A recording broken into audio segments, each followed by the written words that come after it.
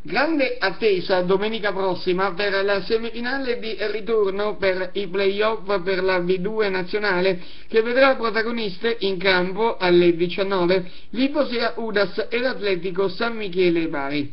I biancazzurri, allenati da Roberto Ferraro, hanno vinto a sorpresa mercoledì scorso la gara di andata in trasferta con il punteggio di 3-0. Una sfida intensa e battagliata punto su punto e vinta solamente ai vantaggi per tutto e tre i set. Tra l'altro l'Atletico San Michele che aveva i favori del eh, pronostico certamente avrà l'occasione di riscattarsi ma non sarà semplice contro la formazione Udassina che punta decisa alla finale. I eh, ragazzi eh, ovantini dunque dovranno stringere i denti per il penultimo appuntamento prima si spera ed incrociando le dita di agguantare il traguardo prestigioso.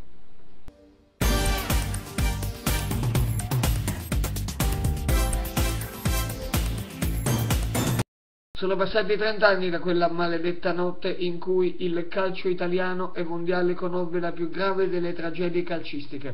Poco prima della partita Juventus-Liverpool finale della Coppa dei Campioni, i tifosi inglesi del Liverpool, molti ubriachi sin dal mattino, attaccano il settore Z dove ci sono i tifosi della Juventus.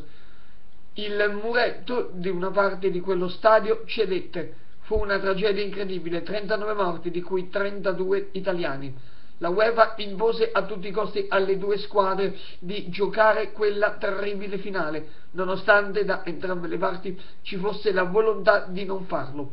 Le squadre inglesi furono bandite per anni dalle competizioni europee, salvo poi ritornare alla fine degli anni 90. Un dolore ed una strage che rimangono ancora impresse nella memoria di ciascuno di noi.